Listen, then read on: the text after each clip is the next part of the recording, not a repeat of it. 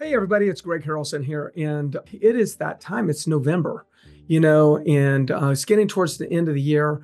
And a lot of us are, you know, kind of in that uh, that space where we're like thinking about taking time off, know we need to generate some additional momentum for the new year.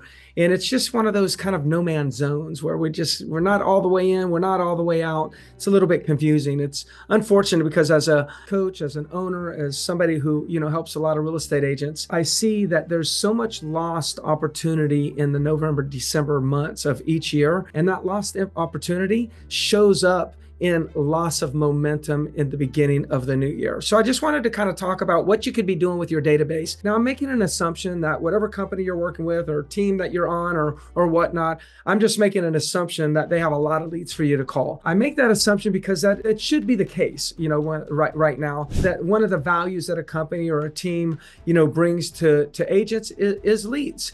And so let's just make assumption that you have plenty of leads in a database right now. Well, there's three tasks there's three things that you need to be thinking about each day. These are not going to be three new things. Are, these are just three things that typically don't get done in the final few months of a year that if you continue to get them done, you can convert deals still in this year, but more important, you can have deals under contract rolling in to the new year, which means you start off your new year strong. So, those few things are, are, are this. Number one, probably no surprise, talk to, not attempt to talk to, talk to a minimum of 20 people every day, Monday through Friday, preferably in the morning because you have more time in the morning, usually less distractions. Most of us have less distractions. So try to get it done. But reach out and talk to 20 people in your database every day.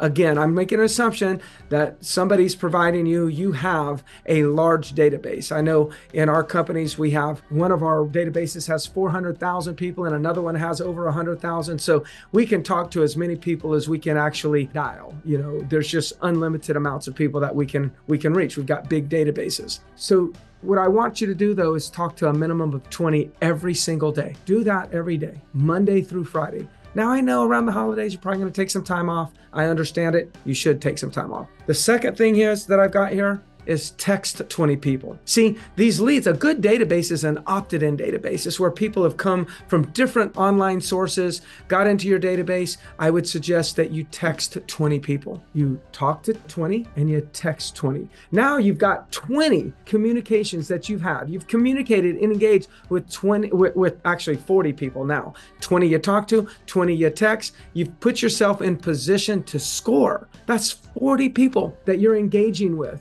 on a daily basis, Monday through Friday, that would be 200 by the end of a full week. How can you not get business by doing this? And then the next thing is the last one is the third thing. I said there would be three email. Email is not dead. What's interesting is, is if you use the proper tools, you know, like Follow Up Boss or many of the other tools that are out there, you know when people are opening up your emails. So you may think, well, nobody's responding my emails. Well, you know what? let's not judge the emails as be, based on how many respond. Let's judge it the effective, effectiveness by how many are opening. So I suggest you talk to 20 people, you text 20 people, and you email 40.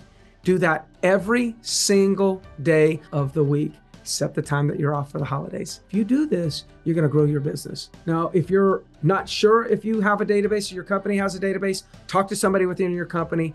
There's got to be a database. These days, everyone has databases, so go out there and start working them. I'm Greg Harrelson with Century 21, the Harrelson Group in Myrtle Beach and I have offices all throughout uh, South Carolina and in Wilmington, North Carolina. So if there's anything we can do for you, you just let us know. But I hope you generate momentum fast. Talk to you soon. Bye bye.